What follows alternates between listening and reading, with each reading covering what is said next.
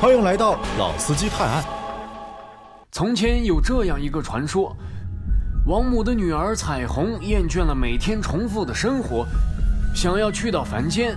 凡人虽然不能长命百岁，但每天都活得充满乐趣。经过一段时间的观察，彩虹终于发现了南天门守卫换班的规律，跑到了凡间。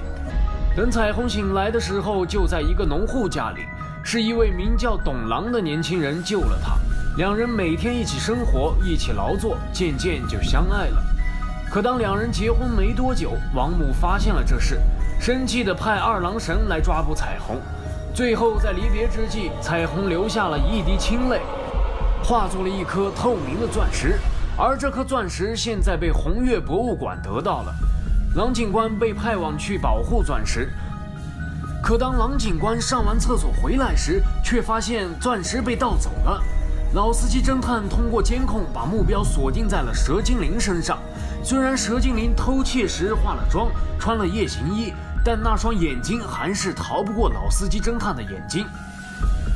当老司机侦探来到蛇精灵家时，对蛇精灵说：“别装了，就是你偷的钻石。”蛇精灵笑着说：“侦探这是怀疑我吗？那你尽管搜。”郎警官立即带人来搜索。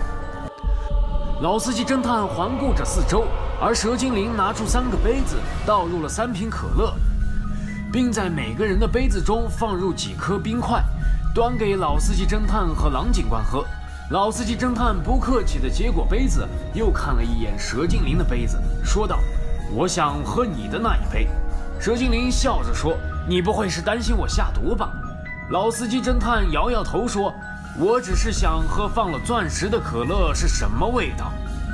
蛇精灵大惊失色问道：“我把钻石放在冰块里，完全看不出来，而且现在冰块并没有化，你是如何发现的？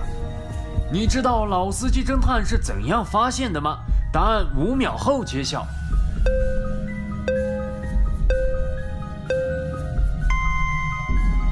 钻石比较重。”只有那颗冰块沉着杯底，其他冰块都飘在水上。